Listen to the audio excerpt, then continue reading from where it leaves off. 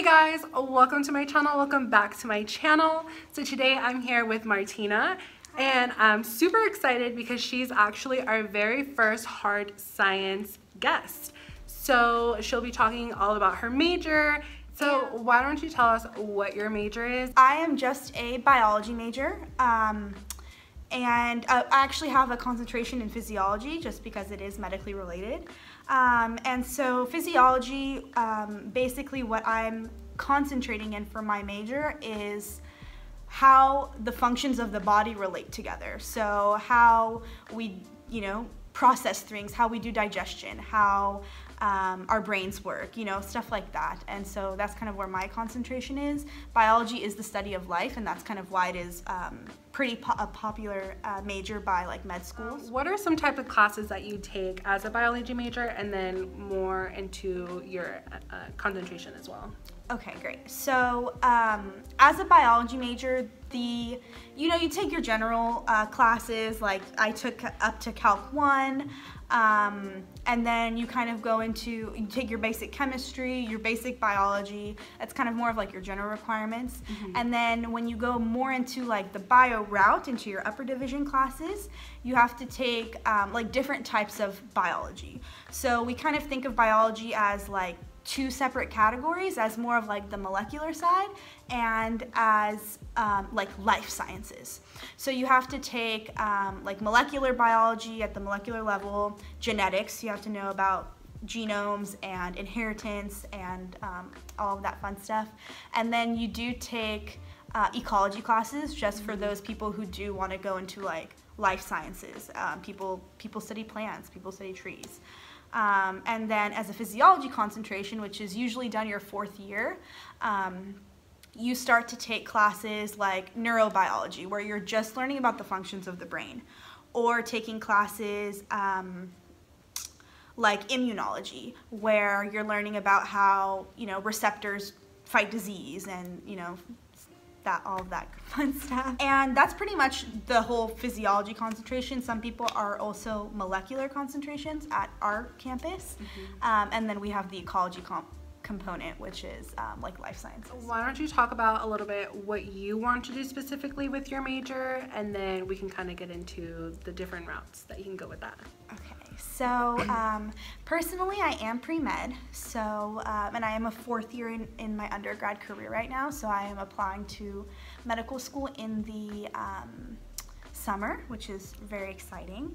Um, personally, I want to go for an MD PhD because I didn't want to restrict myself to just being a doctor. I also wanted to teach. So I wanted to be able to expand my horizons, and mm -hmm. so mm-hmm. I'm actually applying for MD PhD programs which sadly are harder to get into. Um, but um, it's something I, I fell in love with teaching through doing some like tutoring at the on campus mm-hmm. and um, it's kind of something that I didn't want to let go of and I wanted to continue in my career. So you want to teach like at a college level? I was hoping school? like medical school level. Oh, mm-hmm. oh, dang. Girl. So teach after I learned it, of course. I just like the component of teaching. Mm-hmm. Um, and I liked it at the graduate, uh, the undergraduate level where uh, I was tutoring my peers. Mm-hmm. Um, I just feel like the level of comprehension is one that I would want to elaborate on in my future career. I know biology is very commonly used to go into the medical field. Mm-hmm.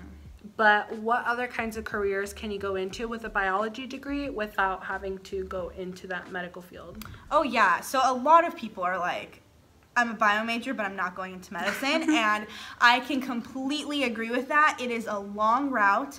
Um, if I didn't feel as passionate about it as I do, I would not be doing it. Mm. Um, it was just something I kind of always knew that I was going to be a doctor. And till now, I've never changed my mind. Um, you can also go into like industry. Um, and so with a biology degree or a biotechnology degree, which are very like similar, um, you can apply, even with a bachelor's degree, you can apply to um, local companies that develop um, drugs, that mm-hmm. develop um, vitamins. Uh, that's really popular. There's a lot in San Diego County. you could also do something called a physician assistant, which is still medical, but it is uh, less schooling. It's two years versus four years. And you can always choose to become a scientist and run a lab. And that's pretty awesome. It's something that I might consider doing in like a year off or something. And do you need to have a master's or a PhD to do any of that? Or you can get that with just a bachelor's? So usually industry, so working at like a biotech company or um, some pharmaceutical work, you just need a bachelor's. Okay, it you get hired and you get paid more if you have a master's degree. Mm-hmm. Um, and to get a master's, it's really not um, that intensive. It's usually about a year to two years. Um, and you get about a twenty thousand um, dollar raise on average when you have a master's degree. So um, that is probably something that if you are if you're considering biology, think about doing a master's. The amount of money you put in to gain that um, level of education is a lot more is a lot less. I'm sorry, a lot less than what you're going to have to um, spend later. So it is worth it if you're thinking about it like in an income sense. And then, so you kind of talked about that you want to go to, to the medical field, and that's something that you've always thought of, you've never Mm-hmm. changed. So, can you talk about why you chose biology uh, other than, or compared to other Majors. majors that Sure. in hard sciences? I, to be completely honest, I chose biology because I thought that was the most relevant. um, I was thinking, you know, I'm going to become a doctor, so the study of life, which is biology, would be the most appropriate. Uh, I actually, you actually don't need to have a biology degree or a chemistry degree or any hard science degree to go to medical school. I um, actually applied to one school as a music major because I sang for my entire life and I I love music and I wanted to do something that wasn't hard. um, but I kind of thought about it in a more logical perspective. Are there any regrets that you have, or anything within your college experience that you think, looking back, that you could have done differently, or you wish you would have done, or any regrets in general? Personally, I have a lot of regrets. One of them was neglecting my student orgs. I had so many res- resources on campus that I just kind of turned my head from. I didn't really consider them until um, a leadership position came along. So with pre-health, I went in uh, as event coordinator, and somehow I worked my way up to president within a year. Um, and all of the resources that I had on campus, I didn't utilize them until I was already in my third year and I am not ready for the MCAT and I have to take a gap year by force, you know, because I'm not ready and I don't want to apply with my stats like low. Um, so definitely planning early. I would plan as a freshman or even as a senior in high school. Yeah. Um, start thinking about a plan and what classes you're going to take and talk to everyone you can. Do not just take the advice from one counselor and go with it. Talk to multiple people, go to conferences, just go show up in a nice suit or dress or whatever and introduce yourself. You'll be amazed at how many people remember you. Um, even if you are just a freshman, you say I'm just a freshman pre-med student. And maybe another regret that I actually did um, is I took on too much. I did too much at once.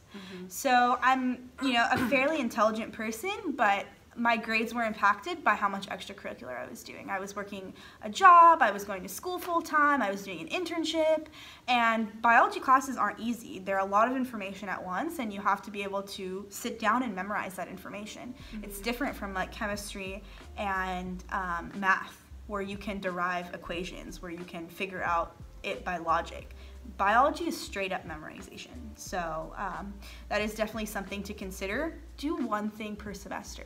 So if you're going to be part of a student org, just do that and study.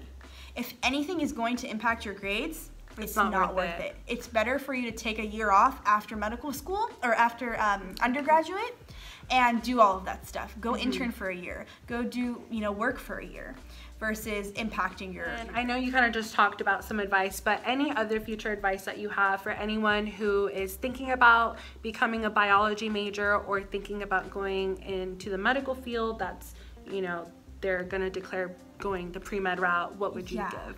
Um, the very first advice that I would give to anybody who's considering it is make sure you know what you're getting into.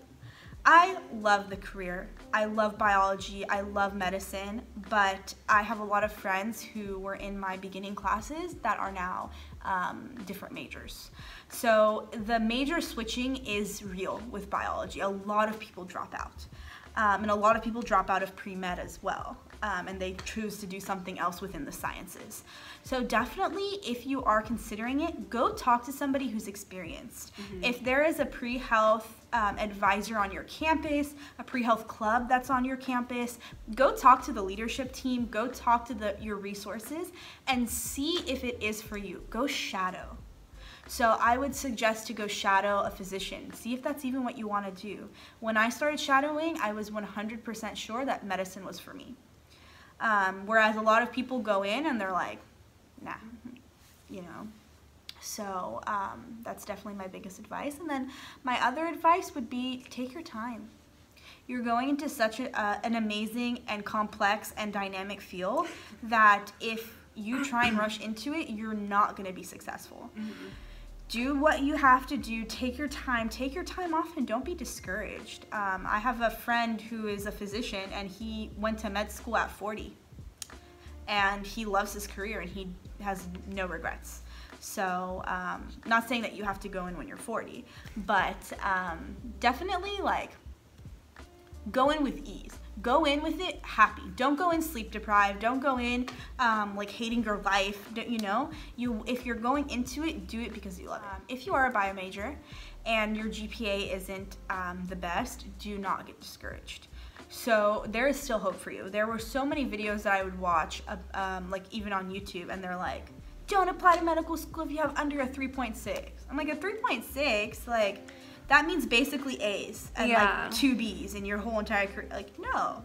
You can have B's and you can have C's too, even if you do have a C.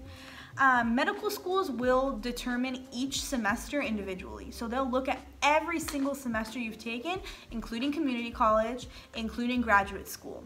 So um, a thing that a lot of people like to do is take a special master's program. So it's usually about a one or two year master's program, most popularly one and um, people will and in those in those programs you're taking classes that first year medical students take.